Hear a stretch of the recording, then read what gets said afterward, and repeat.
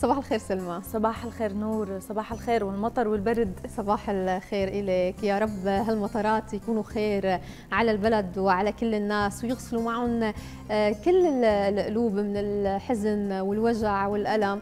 يا رب هالنهار يحمل الخير وراحة البال والرزق الكثير والانفراج لكل الناس. يمكن كلياتنا سلمى عم نمر آه، بظروف صعبة واقتصادية معيشية قاسية.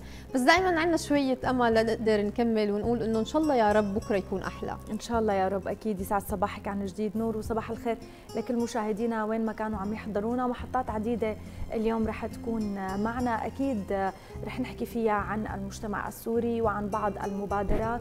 ومعنا أكيد مساحة للتميز مع طفل موهوب رح يكون ضمن محطاتنا الصباحية. ولكن بالبداية خلينا نروح لفاصل وبعدها بنبلش بداية صباحنا سلمى رح تكون مع شاعر أتقن الغناء شعر كان من أهم شعراء الأغنية مو فقط السورية والعربية. ودعناه أول امبارح الشاعر الكبير الراحل صفوح شغالة ترك إرث إرث كثير كبير.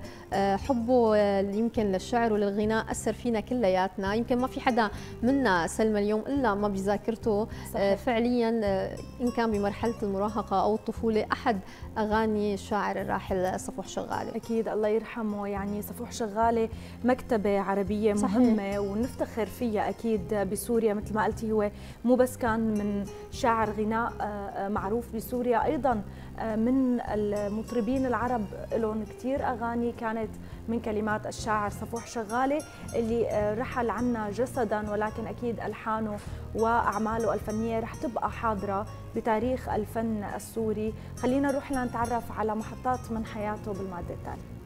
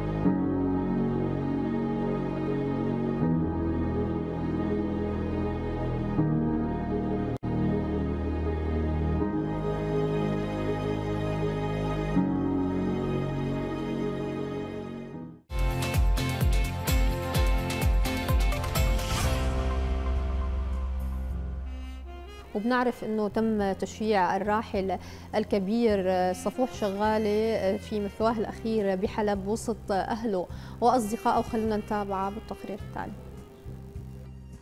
رحل القائل لا في بحلاكي ولا في بغلاكي وشرو حسانك مين. ما في مدينة مثلك رزينة وعمرها ألوف سنين. شهبة والشهبة حلب والوردة الجورية أصلها حلبي. صفوح شغالة الشاعر العربي السوري ابن حلب صاحب تاريخ غني من الشعر والأدب رسم خلال سنوات حياته اسما له ولمعشوقته مدينة الشهباء. رحل الشاعر صفوح شغالة عن عمر يناهز 66 عاما وقبل رحيله كان أشبه بخلية نحل يعمل فيصل الليل بالنهار لإنجاح احتفالية كان يحضر لها بمناسبة ذكرى تحرير حلب. قامة فنية كتير كبيرة وعظيمة وحالة نادرة قدم من الأغاني الوطنية العديدة والأغاني عن مدينة حلب. الله يرحمه كان عم ينطر يوم 22 من التحضيرات اللي كنا عم كان متابع بكل لحظة. سبب مرضه الأساسي هو كان اللي حصل بحلب وشافها بعد ما تدمرت بهالشكل هذا. وحسبنا الله ونعم الوكيل بس. الحمد لله كان له كثير محبين والعالم يلي إجت واتصلت يعني نحن بنتشكرهم كثير حلب كما في كل رحيل أحد العمالقة تخرج وأهلها لتشييع الراحل من جامع التوحيد إلى مثواه الأخير في مقبرة الشيخ جاكير بحلب. صفوح شغالي أعطى كل شيء وكان كريم بكل شيء أعطى نجوم عرب وأعطى نجوم حلب. وحدا كثير مهم ونحن خسرنا حجرة أساس مهمة جدا. تفتقد حلب اليوم أحد القامات الثقافية الهامة ليس على مستوى مدينة حلب وإنما على مستوى سوريا والوطن العربي. لا شيء قد يصف وجوه المشيعين من مثقفين وسياسيين وأدباء وفنانين وأبناء حلب. الراحل يملك أرشيفا وتاريخا ورصيدا من الشعر وكتابة الأغاني. كتب 1650 أغنية من أشهرها حلب شعمل فيك لشادي جميل وطبيب جراح لجورج وسوف. تشكرات لفلة إضافة إلى العشرات من الأغاني الأخرى لوائل كفوري وإليسا ولطيفة التونسية. وشوفوا بلدي بلد الشمس للراحلة ميادة بسيليس وغيرهم. وكانت وزارات الإعلام والثقافة ونقابة الفنانين والآلاف من نجوم الغناء والفن والمتابعين نعوا الراحل وأكدوا على خسارة الفن العربي والسوري واحدا من أهم كتابه. برحيل الأديب صفوح شغالة يكون سجل المبدعين خسر اسما مهما يعتبر أحد قلاع الأدب. ليس في سوريا وحسب بل في الوطن العربي أيضا. صفوح شغالة وداعا. أنس رمضان الإخبارية السورية مدينة حلب.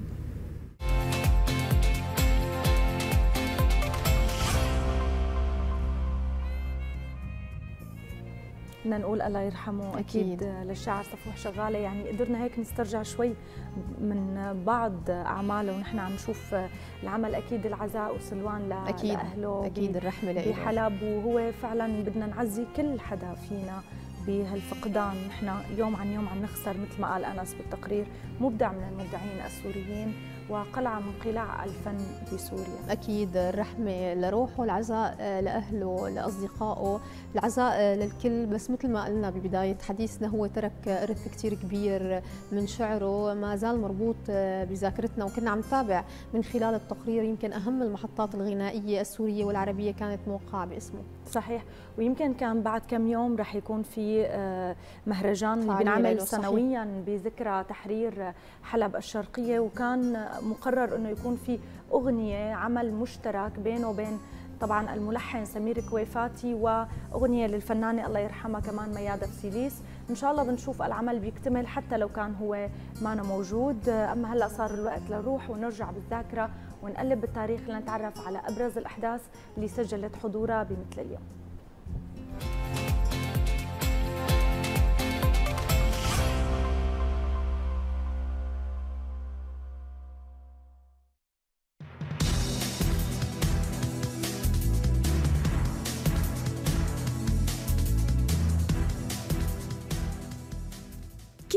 يوم تتولد أحداث جديدة وبتتسجل بروزنامة التاريخ وبتشكل ذكرى منسترجعها مع بداية كل صباح. اليوم 15 كانون الأول.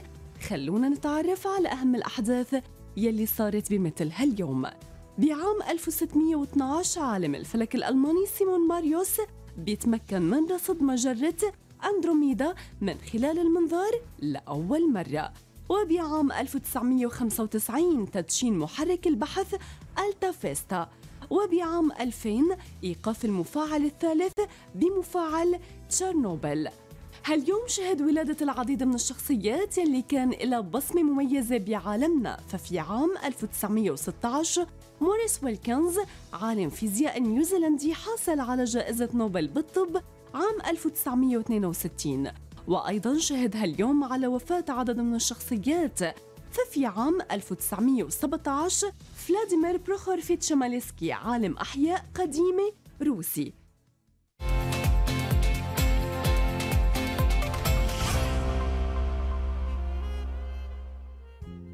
أما هلا سلمى بننتقل لأولى فقراتنا الصباحية لليوم مع عالم الطب. رح نحكي عن مشكلة شائعة خصوصا مع هذا الطقس سلمى والشتاء والبرد بيكتر الرشح والأمراض. مشكلة تصاب القصبات عند الأطفال منها ربو الأطفال. وكثير بنسمع فيها أنه بأول العمر عند الأطفال أول أربع خمس سنوات ممكن يصاب بربو الأطفال وبعد فترة بس يكبر ممكن يبقى وممكن يروح. صحيح نور. ولكن في كثير آه، أيضا بنسمع أنه الربو عند الأطفال بيجي لفترة وبيروح. صحيح. وهل بيرجع مرة ثانية وهل بيكون طريقة المعالجة الخطأ؟ هي سبب عودته أو هذا أمر طبيعي وكثير من الأسئلة رح نتعرف عليها آه، وطبعا تجاوبنا عليها ضيفتنا بالاستوديو الدكتورة آه، نوار البرادعي اختصاصية في الأمراض الصدرية. سعد صباحك دكتورة واهلا وسهلا فيك صباح الخير. يسعد صباحكم. يسعد صباحك واهلا وسهلا فيك كثير بنسمع عن ربو الاطفال بس خلينا شوي نشرح للناس أكثر أو نعرفه قبل ما نحكي عن أسبابه وأعراضه. شو هو ربو الأطفال؟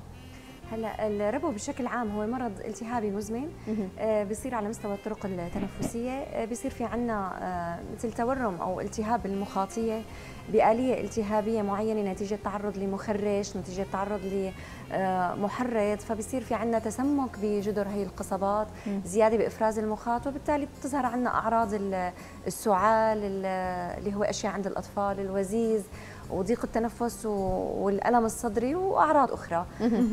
طيب دكتورة مين الأطفال الأكثر إصابة بالربو؟ يعني كثير نعرف إنه بيقولوا إذا حدا بعائلته ربو ممكن يطلع الطفل عنده ربو. أحيانا بيقولوا لا إذا الأم مدخنة بعد فترة ممكن نلاقي الطفل عنده ربو. وكثير أسئلة حول هذا الموضوع. هلا اللي ذكرتيهم أكيد من ضمن عوامل الخطورة للإصابة بالربو. يعني عندنا الوراثة أو القصة العائلية آه، خاصة عند الأقرباء من الدرجة الأولى آه، بتلعب دور بآلية حدوث الربو آه، وبترفع نسبة حدوث الربو عند الأطفال. أيضا البيئة لها دور. يعني لما بيكون في عندنا قصة تدخين أو سواء كان دخان أو أرجيلة دخان خفيف دخان كثير آه، أيضا التلوث بالمحيط آه، يعني مثلا التدفئة على الحطب أو الطبخ أو ظروف البيئة المحيطة لما بيكون دائما في عندنا أبخرة هي تعتبر من عوامل الخطورة للإصابة بالربو. أو مهيئة فينا نقول. طب خلينا نحكي آه، دكتورة في أي عمر فينا نقول يصاب الطفل بربو الأطفال؟ يعني ممكن يكون منذ الولادة بنسمع مثلا إنه على أربع سنين خمس سنين ممكن يختفي أو لا. ممكن يكتسبه من المحيط مثل ما قلتي ممكن يتعالج أو يبقى. هلا هو بأي عمر ممكن يصير عندنا الإصابة بالربو؟ يعني نحن في عندنا عدة أنماط للربو. هلأ عادة النمط العائلي أو اللي لاسبابه آه، وراثية أو عائلية أو جينية بتخلق مع الطفل بتكون البداية بأعمار مبكرة جدا. صحيح. لما بيكون في شيء مكتسب أو شيء وراثي عفوا أو شيء آه، بيئي آه، فممكن تتأخر بالظهور. لكن هو ممكن يظهر بأي عمر مرض الربو. عادة بأول سنتين بيكون في عندنا شيء اسمه التهاب قصيبات شعري. لذلك ما كثير بنقدر نميزه عن الربو. المحرض بيكون بشكل أساسي الانتانات التنفسية. لهيك نحن نلاحظ الأعراض أكثر شيء عم تكون عندنا بفصل الشتاء. آه نتيجة إنه نحن دائما عندنا آه الأبواب مغلقة بفصل الشتاء. في عندنا مخرشات كثير اللي هي الصوف السجاد الفرو. في شيء عندنا اسمه العدس المنزلي مم. اللي هذا كثير بنشوفه. يعني قد ما كانت ست البيت نظيفة لكن هو شيء آه، بيخلق على الأماكن الرطبة على الأماكن المغلقة اللي ما فيها تهوية جيدة. آه، استنشاقه بيحرض هجمات الربو. آه، أيضا الانتانات التنفسية بشكل عام الانتانات الفيروسية هي أكبر محرض لهجمات الربو. لذلك هو ممكن نشوفه بأي عمر. عند الأطفال بتكون الأعراض أشد لأن السعال بيكون واضح جدا عندهم طيب دكتورة خلينا نسأل كمان اليوم هل صحيح إنه الربو ممكن يترافق مع أمراض أخرى؟ وعلى الكبر ممكن في ناس بيقولوا لك كان عنده ربو صغير صار عنده حساسية مزمنة هو كبير مزبوط هالحكي؟ هلأ الربو هو مرض مزمن. مم. يعني هو ما في شيء اسمه شفاء للربو. مم. يعني يعني ممكن مثلا يكون في عنده ربو أطفال آه كل ما كبر بتخف الأعراض شوي ممكن تغيب سنوات. وبعدين ترجع تجيني بهجمة آه على الكبر. لذلك هو ما في شيء اسمه شفاء للربو. هلأ التشخيص لازم يعني نحن يعني في عليه إشارة استفهام أثناء الطفولة هذا اللي كنت أسألك عنك. أحيانا بيكون في اختلاط بالتشخيص. تماما تماما. لأنه نحن بنعرف إنه أعراض الربو هي بتظهر مثل ما قلتي بالشتاء بسبب البيئة المهيئة المهيئة أو هي اللي بتخليه مؤهب. هلأ هي بتكتر بفصل الشتاء لكن ممكن تظهر بالصيف الربيعي هدول الفصول الحساسية بنعرفها. ممكن بس يصير في خلط بتشخيصه صحيح هذا اللي بدي اسال عنه الخلط بالتشخيص يعني. كيف فينا نميز هي الأعراض؟ لأنه أحيانا الأم بتروح لعند الطبيب بيقول ربو أطفال. بيقول مثلا ربو أطفال أو يمكن التهاب قصبات ويصير في اختلاط. فهون طريقة المعالجة ممكن تكون تأثر أو تكون مختلفة. التشخيص كيف بيكون؟ يعني كيف الأعراض اللي ممكن أنا كأم أقول لا؟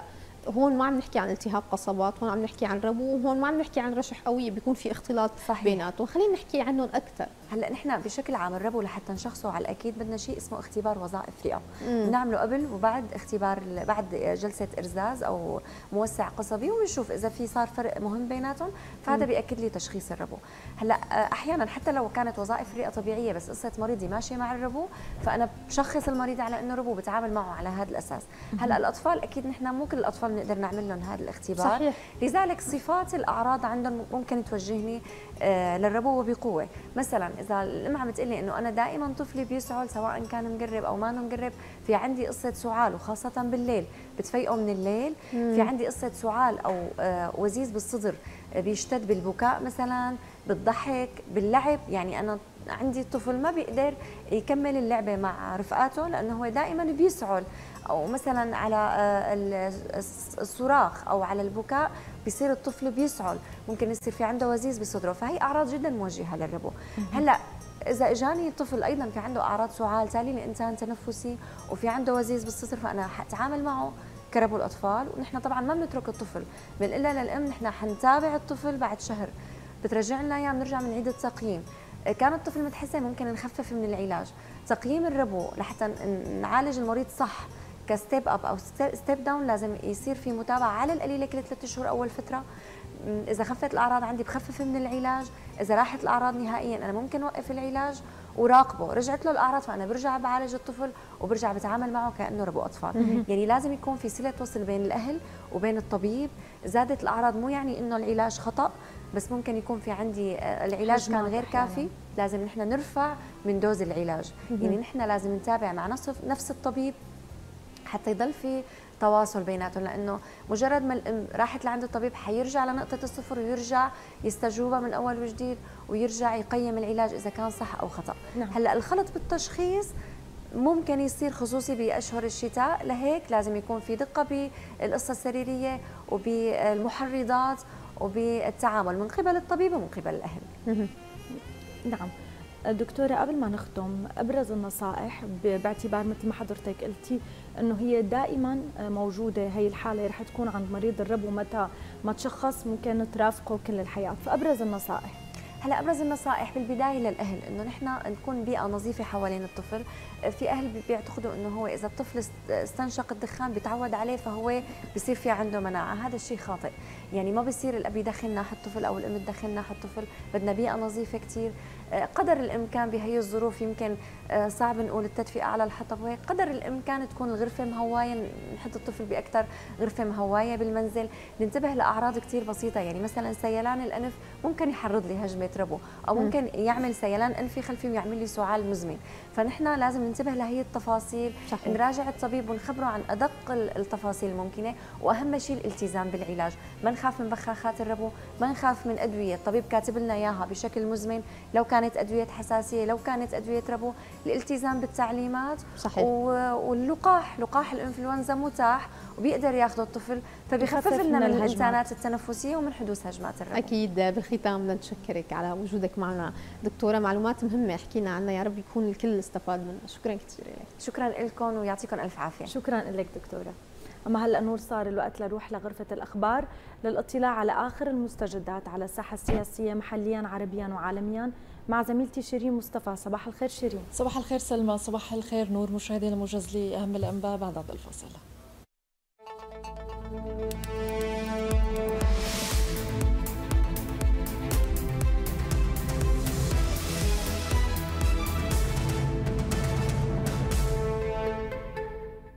أهلا بكم. أكد مجلس الشعب أن الجولان العربي السوري حاضر في عقول وضمائر السوريين مشددا على أن النضال والمقاومة لاستعادة الحقوق السليبة بهمة رجال جيشنا البواسل وقوة جبهتنا الداخلية.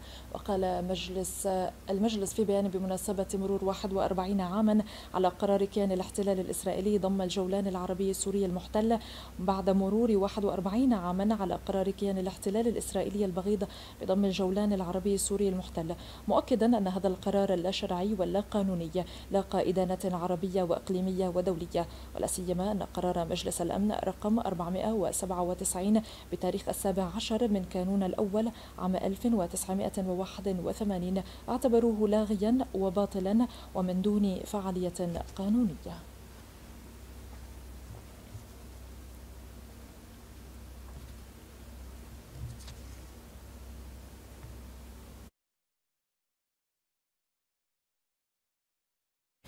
إلى ذلك جدد أهلنا في الجولان المحتل رفضهم كل مشاريع الاحتلال الإسرائيلي التي تهدف إلى سلخهم عن انتمائهم الوطني الأصيل للوطن الأم سوريا.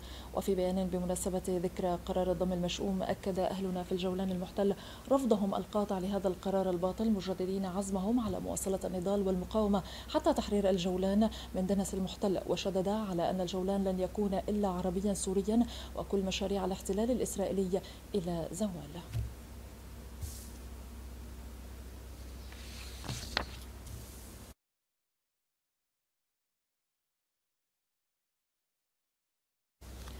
أكد رئيس مجلس الوزراء حسين عرنوس أن واقع المشتقات النفطية سيكون أفضل في الأسواق المحلية خلال فترة وجيزة.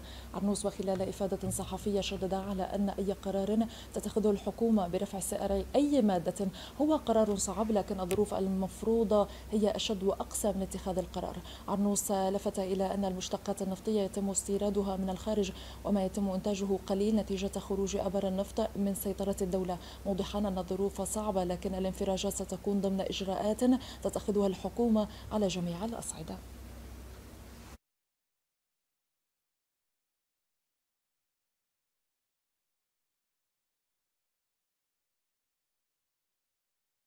جددت سوريا إدانتها ممارسات قوات الاحتلال الأمريكي والميليشيات المرتبطة بها ونهبها المنظم لثروات الشعب السوري مطالبة الأمم المتحدة بوقف انتهاكاته الولايات المتحدة وحلفائه للقانون الدولي وأحكام الميثاق وضمان التعويض عنها وإنهاء الوجود غير الشرعي للقوات الأمريكية وعادة حقول النفط والغاز التي تحتلها إلى الدولة السورية. وقالت وزارة الخارجية والمغتربين في رسالتين موجهتين إلى كل من الأمين العام للأمم المتحدة ورئيس مجلس الأمن أن الولايات المتحدة تواصل ممارساتها العدوانية وانتهاكها الجسيم لمبادئ القانون الدولي وأحكام ميثاق الأمم المتحدة من خلال استمرار وجود قواتها بشكل غير شرعي على أجزاء من الأراضي السورية في الشمال الشرقي وفي منطقة التنف مشيرة إلى أن قوات الاحتلال الأمريكي والميليشيات المرتبطة بها تواصل نهبها المنظم للنفط والقمح وغيرهما من الموارد الأساسية والثروات الوطنية للشعب السوري.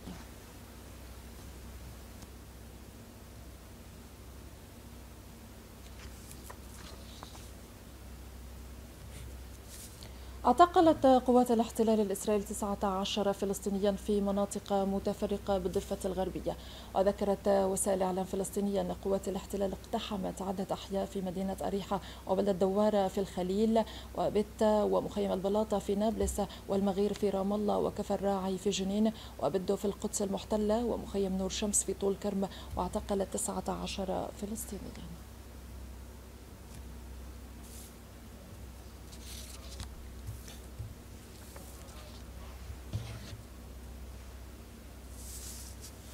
ختام الموجز والآن عودة إليك سلمى.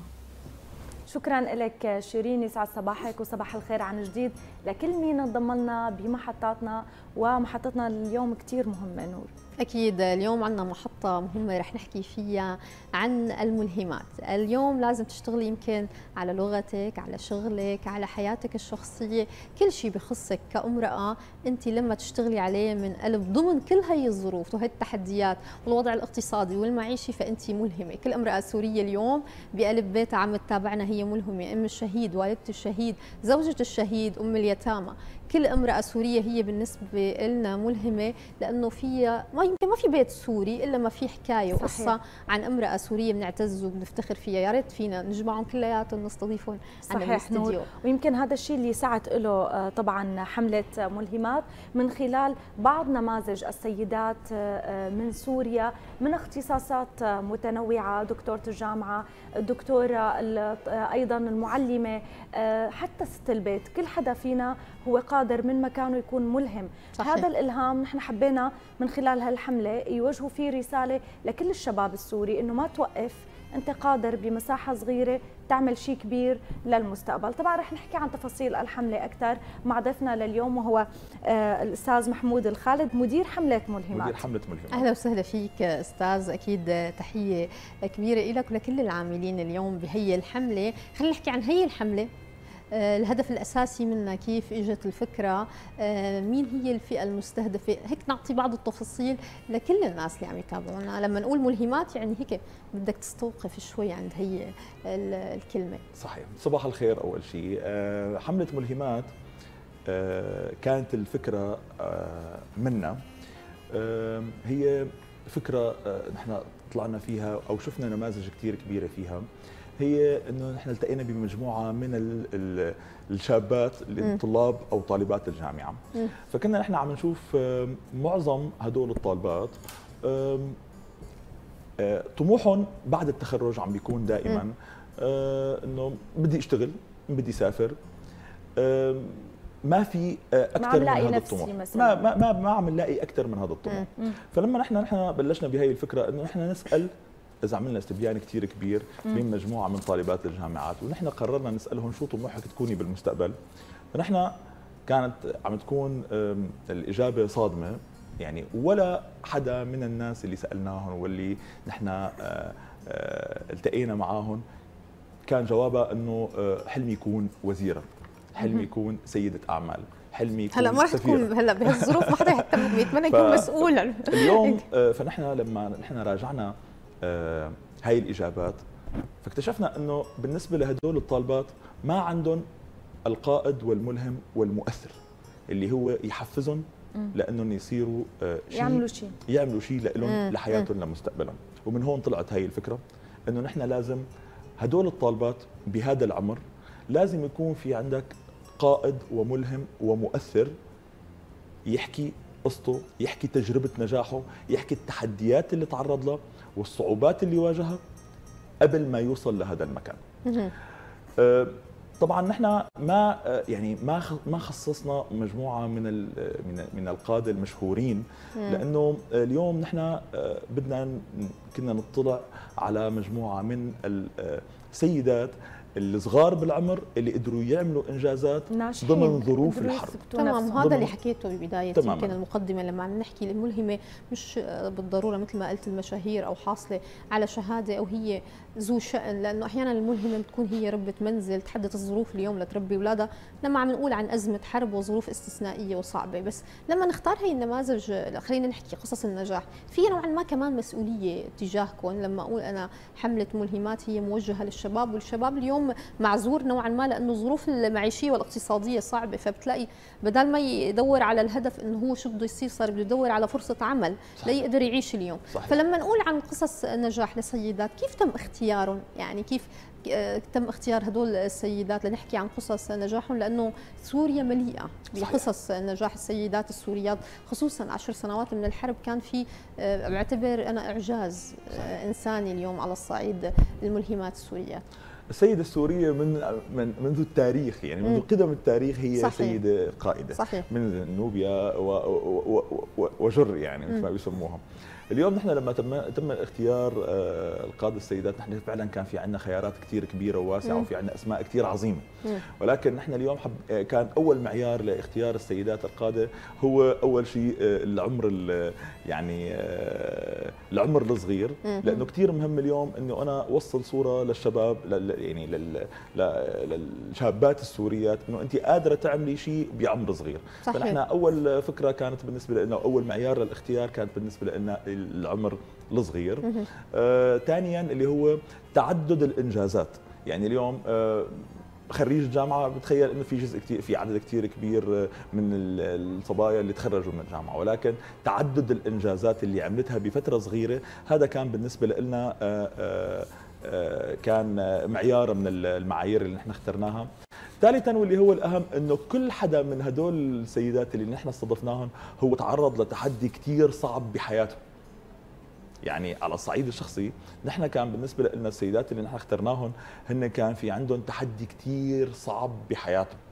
يعني أكيد ما راح نسميه بس ولكن جزء كثير كبير منه جزء منهم اللي تزوجت كم قصة أو كم سيدة رح تتناول الحملة؟ نحن تناولنا 26 سيدة. تمام من مختلف الاختصاصات. قلت لك جزء منهم أو بالأحرى كلهم يعني كل حدا منهم كان في عنده قصة صعبة بحياته كادت إنه يعني تغير مجريات حياته ولكن هو تحدى هذا ال هذا ال هذا الظرف اللي مرق فيه تغلب عليه وقدر يكمل عرفتي علي كيف؟ هذا كان أهم المعايير اللي هو نحن كان تم اختيارها إنه السيدة اللي نحن عم نختارها هي تعرضت لظرف كثير صعب لتحدي كثير مهم بحياتها تمام؟ كان آه، آه، قدرت تتغلب عليه وكملت لوصلت للإنجاز اللي هي عملته. الحلو بالموضوع إنه نحن يعني شفنا هيك فيديو فيديو صغير انتشر على مواقع التواصل الاجتماعي. كل سيدة عم تحكي كلمة أو جملة وتقول شيء من اختصاصها أنت فيكي تعملي هيك كوني قدها. أكيد أنت فيكي تكوني قدها. ويمكن هي إجت قريبة كمان مع حملة 16 يوم لمناهضة العنف ضد المرأة. فيمكن الناس فكرتها بالبداية هل هي لها علاقة بهي. خلينا نوضح هل لهم علاقة ببعض ولا لا؟ الحملة منفصلة عن 16 يوم لمناهضة العنف ضد المرأة. رح يكون لها استمرارية. والنماذج اللي حكيت عنها 26 نموذج م. نماذج مهمة. كيف رح تنعرض قصصهم؟ رح يكون في فيديو مثلا لكل سيدة لوحدها ولا كيف؟ نحن الحملة هي أصلا نحن عملناها هي بمناسبة ال 16 يوم العالمية لمناهضه العنف ضد المرأة. آه، القصة بحكاية كل سيدة من هذول السيدات هي رح تنعمل بجلسات حوارية مع الطلاب عرفتي علي شلون؟ آه الغاية منها اليوم نحن لما أنا بحكي قصة صارت معي أنا رح أكون حقيقي وصادق وقريب من الأشخاص اللي أنا بحكي لهم إياها أكثر ما أكثر ما إني أنا أحكي لهم قصص وروايات صح نتمنى و... تسجلوهم طبعا وتنزلوهم على إن شاء الله اذا يعني أنا بدي أتشكر من هذا المكان أكيد إن كل حدا شارك معنا لأنه هو اولا وافق يشاركنا تجربته. يعني أنت اليوم كل التجارب اللي صارت معهم هي تجارب شخصية.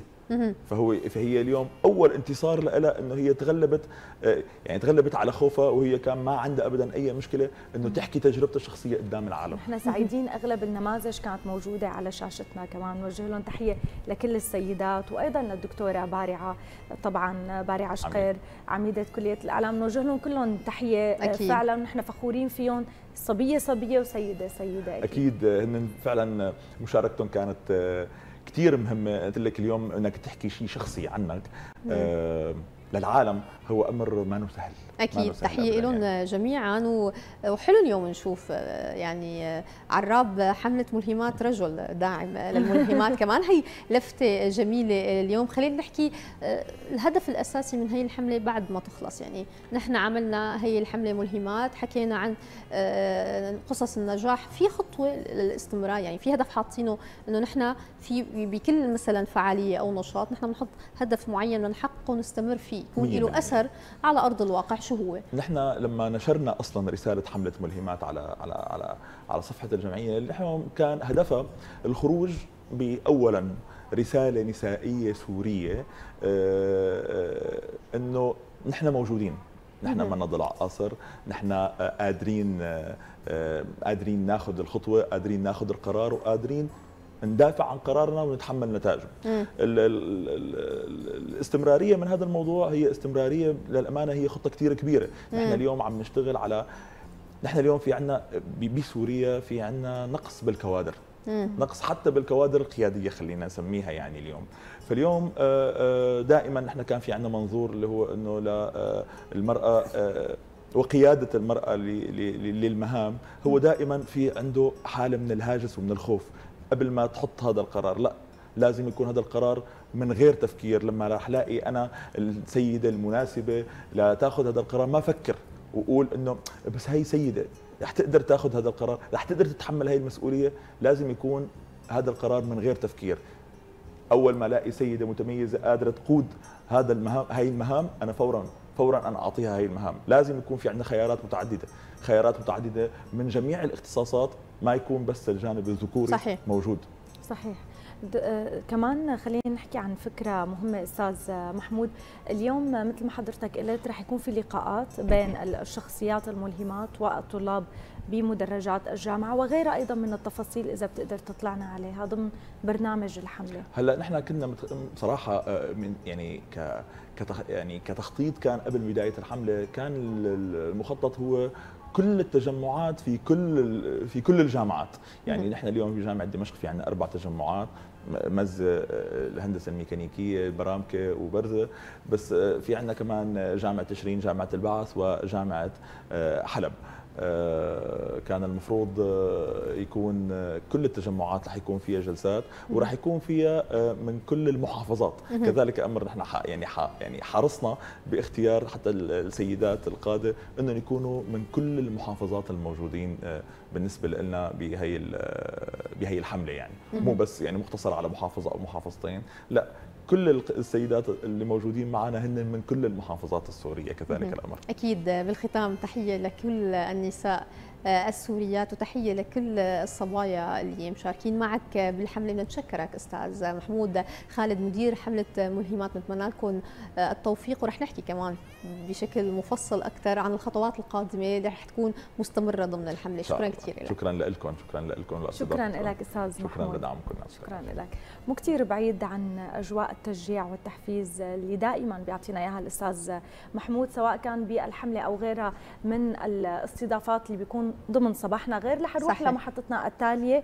وتحديدا ضمن الأنشطة اللي عم تشهدها دمشق أقامت وزارة الشؤون الاجتماعية والعمل بالتعاون مع برنامج الأمم المتحدة ورشه عمل تحضيرا لعرض النموذج الأولي لمنصة معلومات سوق العمل وكيفية جمع معلومات إحصائية حول متطلبات وأولويات سوق العمل. التفاصيل بتقرير زميلتنا دينا عساف.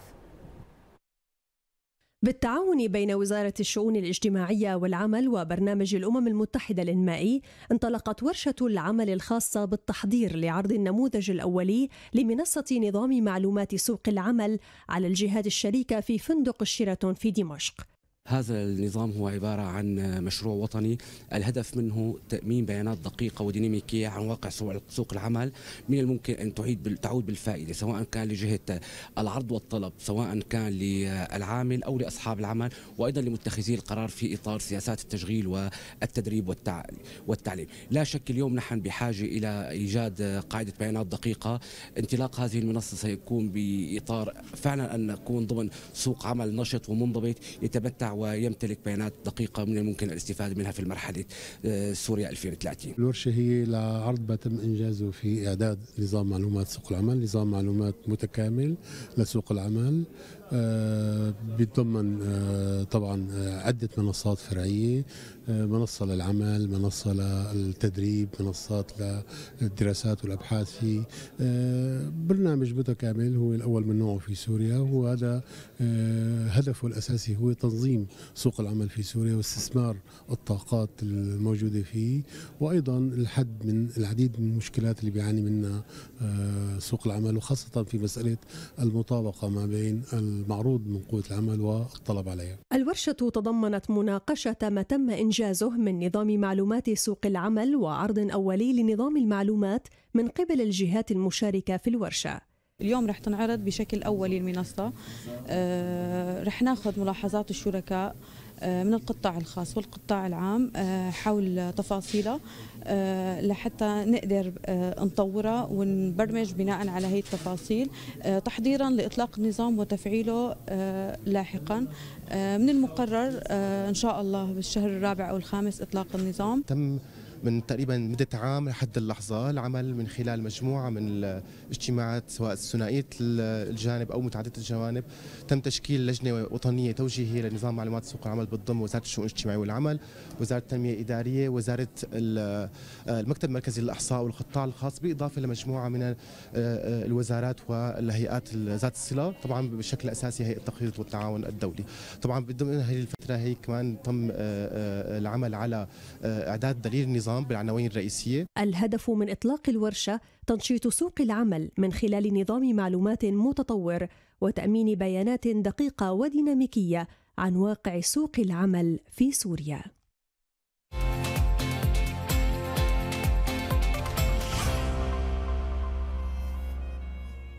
أما هلأ بدنا ننتقل لمحطة كثير مهمة. سلمى نحن برحلاتنا الصباحية دائما بنسلط الضوء على المواهب والقدرات الاستثنائية. اليوم ضيفنا آه، عمره 8 سنين عنده قدرات ذهنية استثنائية. مو فقط بيقدر يحل مسائل رياضية صعبة ولا بيقدر يحفظ بشكل كثير كبير كمان له مراء بالبرمجيات بيصلح بيشتغل قدم مشروع كهرباء عنده قدرات ذهنية استثنائية. أكيد رح نحكي عنها بشكل موسع. صحيح نور اليوم ضيفنا الحبيب عرسان. طبعا الطفل يعني أول طفل أخذ خليني أقول شهادة قيادة الحاسوب بعمر كثير صغير. عمل برامج لوزارة التربية عمل برامج بالتعاون مع البحوث العلمية كرم من عدد من وزراء الكهرباء والتعليم وأيضا البحوث العلمية وغيرها من المشاريع اللي لسه مستمرة. طبعا شاطر جدا بالقراءة وحفظ القصائد والقرآن الكريم وغيرها كثير من المهارات اللي رح نتعرف عليها أكثر وبصيرنا نرحب فيه وبوالده أيضا السيد إياد عرسان. أهلا وسهلا فيكم سعد أوقاتكم. يسعد صباحكم. صباح الخير أهلا وسهلا. يسعد صباحك واهلا وسهلا فيك. وأكيد سعيدين بوجود بوجودك بوجود الحبيب فخورين فيه.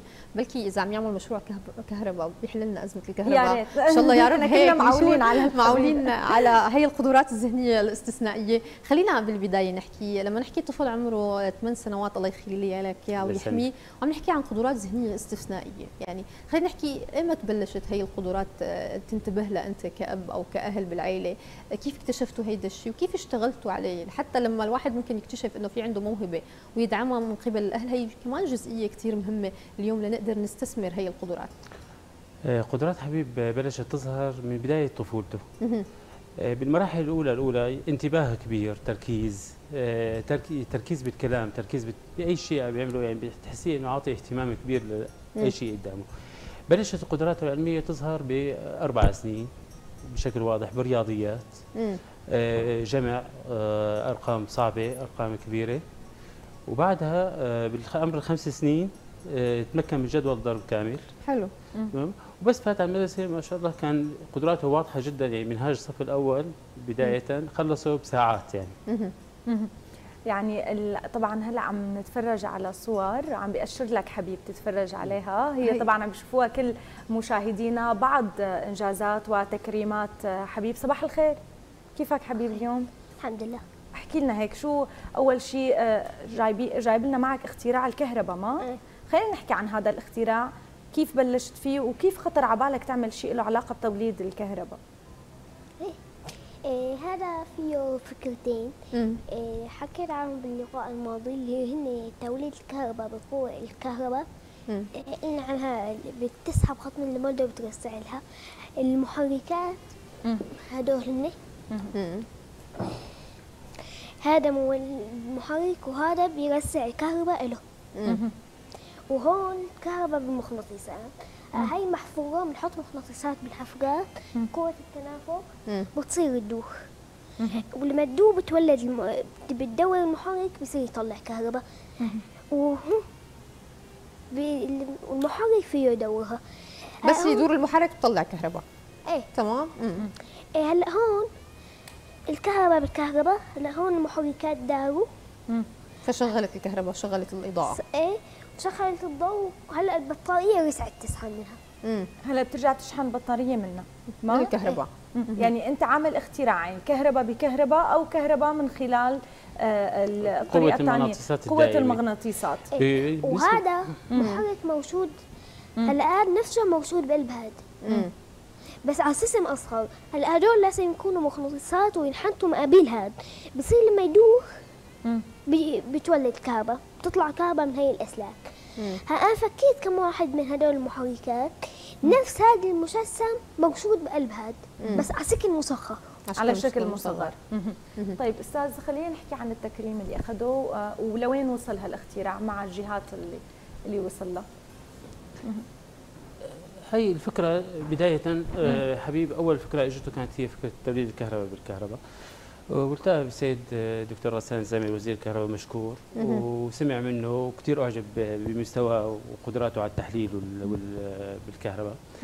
بعدين توجهنا للمركز الوطني لبحوث الطاقة. آه، تمت نقاش الفكرة بالكهرباء والكهرباء وبعدين حبيب تولدت عنده فكرة ثانية هي توليد الكهرباء بقوة المغناطيسات الدائمة.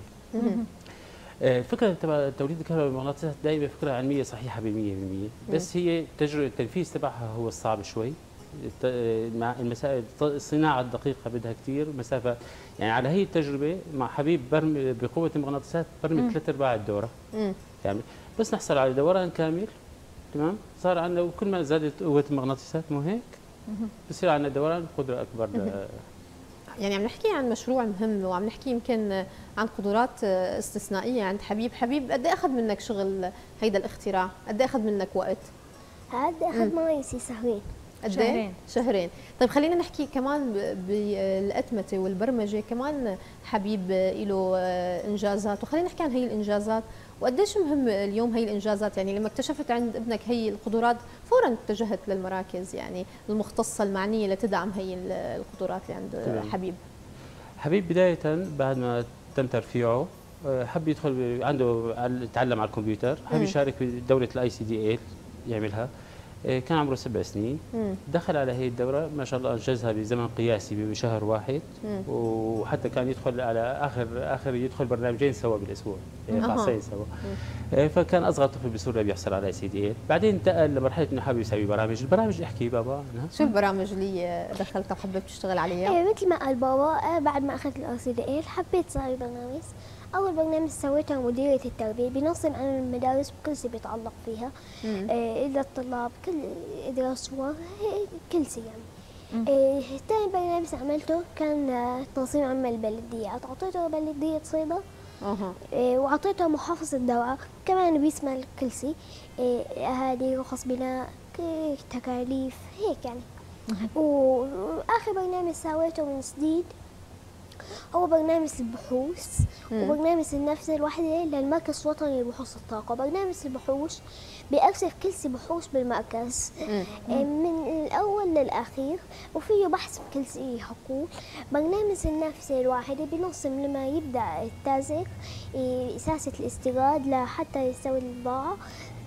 قلنا هون كثير آه بعدين بيروح بيسوي البضاعة بتسعة عملية سمايك بيبعتونا كتاب البيان الشموكي شو وصل هالبضاعة بناخذ عينات بنفحصها وبنشوف إذا مطابقة أو مطابق جزء منها وبندخل يعني أفكار جدا مهمة لحبيب آه، يعني عم هيك عم يحكي ببساطة جدا. ولكن هي آه، حقيقة شركات تقعد تعمل هي البرامج لتطرحها بالسوق ولتستفيد منها. وحقيقة يعني هي بتوفر حتى على الدولة اليوم نعرف بيشتروا أنظمة من الخارج لحتى صحيح. يشتغلوا عليها ضمن آه، الأرشفة والأتمتة وغيرها. فإنه يتم استثمار هذا الشيء. هل بدأ العمل عليه فعليا مع الجهات؟ يعني إيه مثل ما نقول قدم للبحوث آه، قدم لمديرية التربية بدرعا قدم أيضا لعدد من الجهات. هل تم الاستفادة منه بشكل فعلي؟ طيب بالنسبة لبرنامج البحوث آه، دخل كامل الحبيب بإيده دخل كامل البحوث عام 2020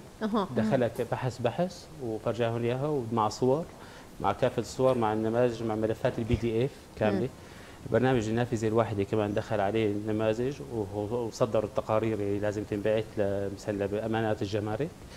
آه، بالنسبة لمديرية التربية آه، قدم البرنامج الأستاذ من وجه له تحيه الاستاذ منهل نزار العماري وكان في تلفزيون بوقتها ومهندسين مشرفين وقيموا البرنامج لقوه احترافي هو الأهم من كمان بالنسبة للبرمجة آه، برمجة كخطوات أولى بدها تحليل.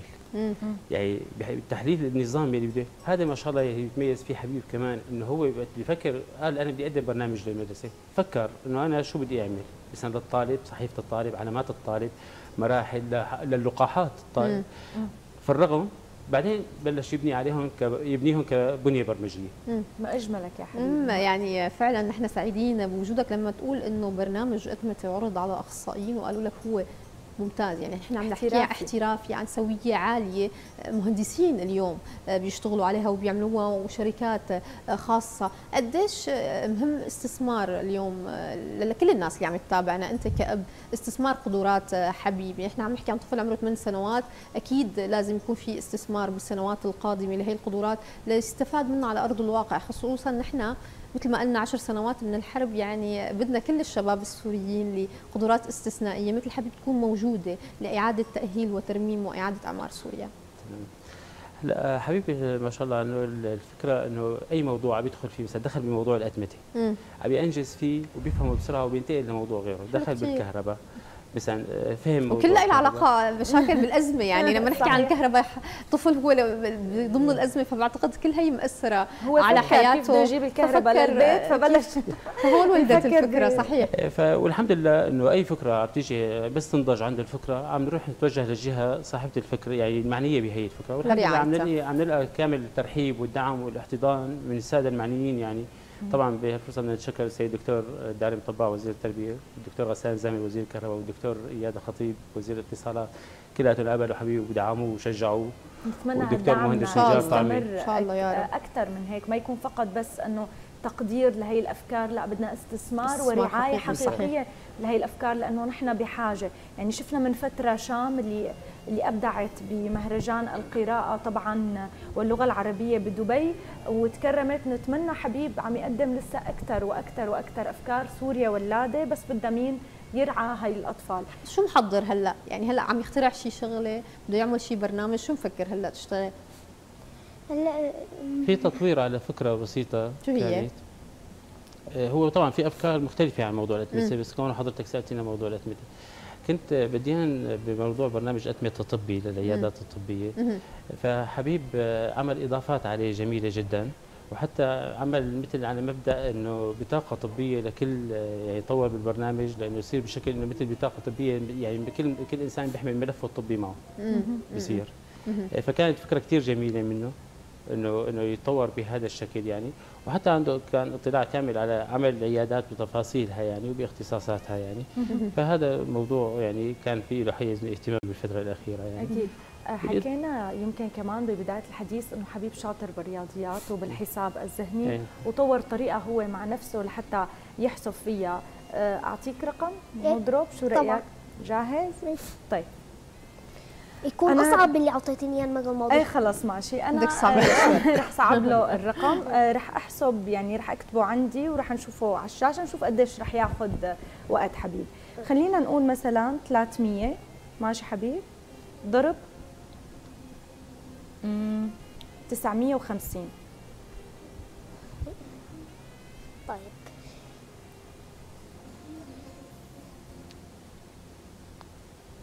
عمل لك على التنازلي نعم واحد اثنين. يلا. لا لا تشتتي خليها 300 ضرب 950 إيه يلا عم بحسب.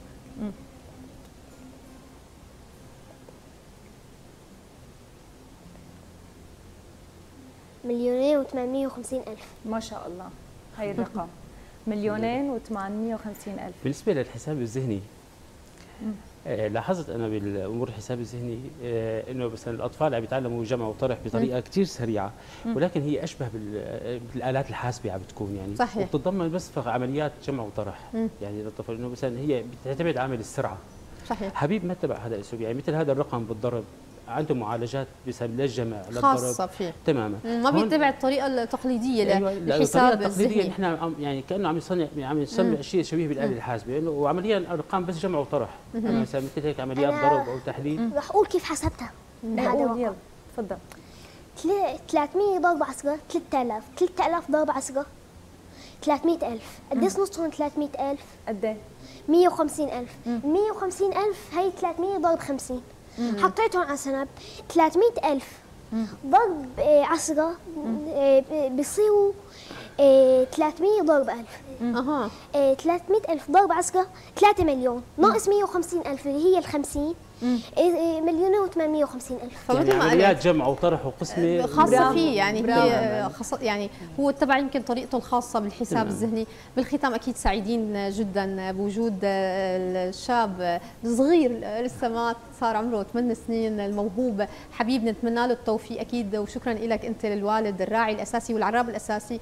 نتمنى يا رب استثمار هي القدرات الذهنية عند حبيب من الجهات المعنية والراعية لأنه نحن عم نحكي عن مشاريع مهمة اليوم بيقوم فيها مهندسين قام فيها طفل مثل حبيب يبلغ من العمر 8 سنوات. أكيد نتشكركم على وجودكم معنا. شكرا لحضراتكم. شكرا. وشكرا لهالمنبر الكريم شكرا. شكرا وسهلا فيك. وشكرا للمشاهدين الكرام. شكرا لك ويعطيك العافية. والله يقويك. نحن بنعرف بهالظروف الصعبة قد إيه صعب رعاية آه، التميز. صحيح. أكيد ويخلي لك كمان البنوتة. بدنا نصبح عليها ونصبح على والدتها. وأكيد بدنا نقول لك bye bye حبيبي bye bye. شكرا لكم شكرا. أما هلأ نور رح نروح لمحطتنا التالية وأطلقت وزارة التعليم العالي والبحث العلمي المؤتمر العلمي الحادي والعشرين للهيئة العامة لمستشفى الأطفال بدمشق وتفاصيل أوفى بتقرير زميلتنا تيماء مسعود بمشاركة نخبة من الأطباء عقد المؤتمر السنوي الحادي والعشرون لمشفى الأطفال في مدرج مشفى الأطفال في دمشق. تم خلاله عرض إنجازات المشفى في السنوات الماضية والصعوبات التي يواجهها. المشفى بعتبره بيتي الثاني. أنا بلشت عمل بالمشفى كطالبة دراسات عليا بسنة 1980 وبفتخر بإني من خريجين هذا المشفى. بعدها ابتديت بالعمل كطبيبة اختصاصية في المشفى وبعدها كنت عضو هيئة تعليمية كطبيب عضو هيئة فنية بالجامعة دمشق الحقيقة المشفى خرج عدد كبير من الأطباء معظم الأطباء اللي بيمارسوا بالقطر وغالب القطر وكلهم يشهد لهم بالتميز هن خريجين هذا المشفى.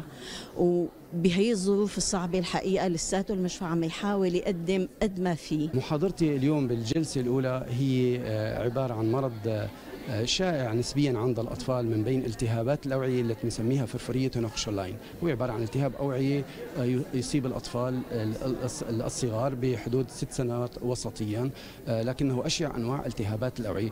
أشيع آه، فترة لظهوره في فترة الخريف والشتاء صراحة.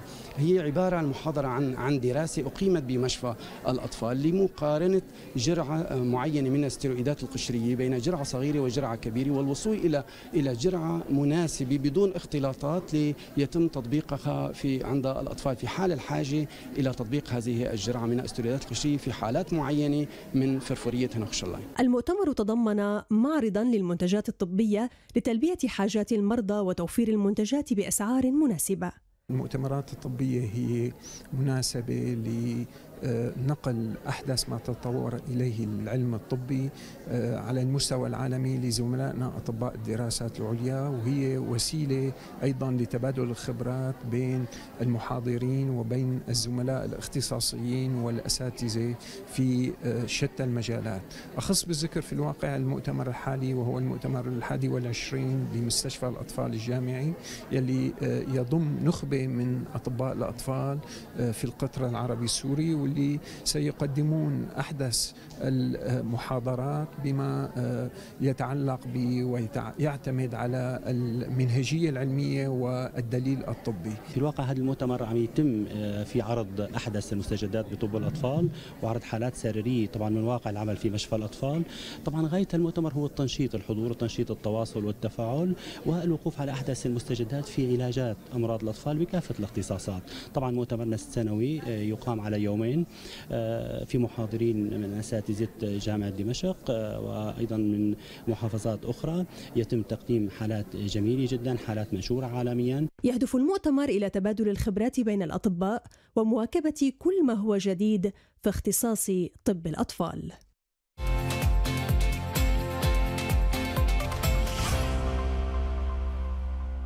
أما هلأ آه، سلمى بنروح لفقرتنا الختامية لنحكي عن بازار ألوان سورية. دائما بهيدي البازار بنستضيف سيدات آه، عندهم لمسات آه، للأعمال اليدوية خاصة. كل النساء السوريات بتحسي الأعمال اليدوية هي جزء صحيح. من حياتهم اليومية. بس دائما ضمن هيدا البازار في جديد في أعمال يدوية جديدة واختلاف. يعني ما بتلاقي شيء تقليدي دائما في شيء جديد وحلو معهم أكيد. نور واليوم طبعا بدنا يسعدنا نرحب بضيفتنا اللي دائما بيكون مع عدد من السيدات المبدعات وبتقدمهم وبتقدم أفكارهم ومشاريعهم الخاصة.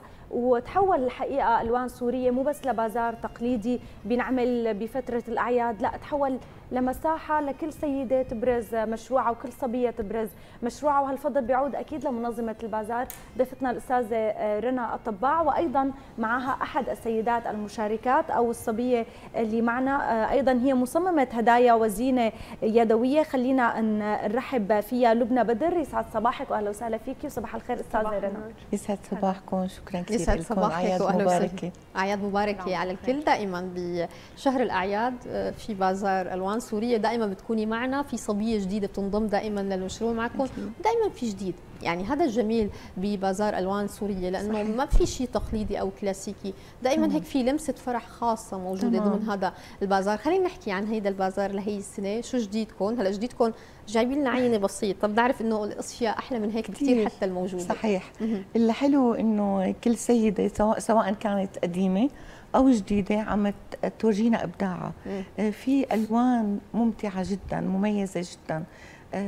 كل سيدة عم تبدع بلون خاص فيها. صحيح. عم بيعملوا شغلات جديدة أفكار جديدة. حتى عندي مشاركات جديدة مثل السيدة لبنى أنا أفتخر فيهم. عم ينضموا لنا عم يكونوا لون من ألوان سورية. روح المحبة عم تكبر بيناتنا عم يكبر العدد أكثر.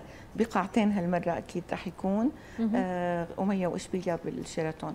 فأنا بستنى بفارغ الصبر خاصه بموسم الأعياد. بتحسي عم عم تضوي القاعات صحيح. نحن كمان بننطر الصراحة يعني بهذا الوقت بحب يكون دائما في مساحة لأنه أنا بقدر ادعم بقدر اسوق منتجات بقدر خلي كل صبية مبدعة تكون موجوده وهذا الشيء بدنا نحكي فيه مع هبه مع لبنى أول شيء صباح الخير لبنى شو الشغلات الحلوة كلياتها؟ شو هالزينة الحلوة؟ نقلتي لنا هيك أجواء عيد الميلاد وراس السنة بالاستوديو. يسعد صباحك. تسلمي. يسعد صباحكم. حيا الله فيك أهلا وسهلا. خلينا نبلش لبنى بمشروعك. أنت ايمت بلشتي. وكيف انضميتي لألوان سورية؟ هلا هي أول مشاركة لإلي بالبازار. طبعا مش أول مرة يعني دائما نحن بنزور وبنشتري أشياء كثير مهضومة خاصة بالأعياد والمناسبات. يعني من زائرة لمشاركة. تماما. حلو. حبيت إني هيك بلش مشروعي من ضمن البازار وخاصة بموسم الأعياد. يعني حسيتها إنه هيك رح تكون بداية إن شاء الله يا رب إنه هيك بداية حلوة يعني. آه أنا مهندسة بشتغل ديكور داخلي. آه بس هيك حسيت إنه حابة إني أشتغل شيء بكمل شغلي بالديكور. مم. يعني فكرة البيت بحبها بحب تفاصيل البيت أغراض البيت فعلا قد ما كان يعني. الديكور جميل إذا ما في إكسسوار آه مثل هيك إنه لمسة خاصة أو يضفي عليه لمسة خاصة بتحسي الموضوع مختلف. خلينا نحكي عن الزينة. يعني آه زينة الأعياد يمكن الكل هلا بيشتغل على زينة الأعياد بس هون الاختلاف بطريقة الفكرة. يعني لما نحكي عن أشياء بسيطة معمولة من القماش يمكن هي لفتة صغيرة أو لمسة صغيرة بتلاقي مختلفة عن شغل السوق اليوم وخصوصا لأنه أعمال يدوية بتحسيها عم تنشغل بحب شوي. تماما. آه يعني أنا حبيت إني أطلع شوي من فكرة الزينة التقليدية صحيح. إنه الكرات الشجرة الكذا. فحبيت هيك أعمل أشياء ثانية هيك يعني هي بمواد مثل ما مواد قلتي إنه هي موادها بسيطة يعني القماش الخشب الزينة بسيطة. بس هيك يعني عملتهم بطريقة شوي إن شاء الله هلا مثل ما شايفين هي الشجرة هي قماش ومن تماما. هي خشب قاعدتها خشب, خشب كرمال تضل ثابتة. وهي قماش يعني ملفوف عليها قماش. تماما. جوا يمكن. سفنج رقيق والقاعدة خشب. وحط عليها خفيفة نجمة كمان. بس موديلها كثير حلو مميز يعني, يعني حتى عاملة منها مثل مقاسات عاملة منها أشياء هيك في شيء هيك لامع في شيء يعني هدول كثير مهضومين. هدول كمان هدول التنوم هدول هيك كمان قطع ممكن ينحطوا مثلا بهيك بكورنر مثلا بالمطبخ أو بالصالون أو على طاولة وسط هيك ينحطوا مع قطعة ثانية مهضومة. فهيك بيعطوا داخل الهندسة والزينة مع بعض. تماما. آخذة شكل هي تعليقة باب. ممكن إنه تتعلق هيك على الباب. وممكن إنه كمان تنحط هيك بزاوية بحد التلفزيون على هيك على حسب شو في مساحة حسب بال... كمان بالبيت. ديكور البيت. الأفكار من وين هيك آه هلا أنا بحكم أو كيف تستمديها؟ تماما. آه هلا بحكم شغلي بال... بالديكور فأنا دائما يعني هيك تغذيه بصريه صحيح مظبوط. دائما انت بدك تشوفي شيء جديد دائما مم. على البنترست على على النت على يعني كثير بشوف هيك أشياء وقصص هيك جديدة. فهي عينك بتصير بتلقط يعني بتصيري انت يعني ما بنقل قطعة بس إنه تصيري تعرفي إنه أنا ممكن آخذ هيك أيوه تماما هيك بتاخذي أفكار هيك جديدة يعني. وان شاء الله إنه هيك هلأ هي إنه ممكن تنحط على صينية خشب مم. مع هيك مجموعة قطع ثانية كمان أنا مشتغلي هيك مجموعة قطع ثانية آه هيك إنه كتب يعني. انت وطبع عليها. هذا الشيء. كتب مزينين آه هدول أقراص النعنع. كمان هني مجموعة ممكن يتعلقوا على الشجرة. آه أقراص النعنع. آه بيتعلقوا على الشجرة. هيك تغيير شوي عن الكرات عن الزينه يعني التقليدية الكلاسيكية. تماما. طيب خلينا نحكي عن هدول. هدول شو؟ هدول ركايات. نحن نفتحهم ونشوفهم مع بعض. كمان له علاقة بأعياد الميلاد. تماما.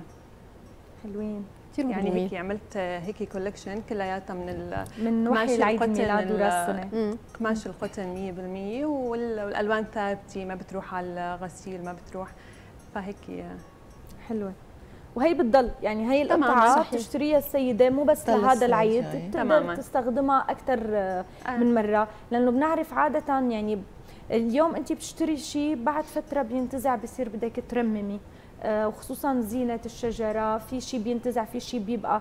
فدائما هيك شغلات بسيطة بالديكور بس بتضلها حلوة يعني بتعيش. يعني.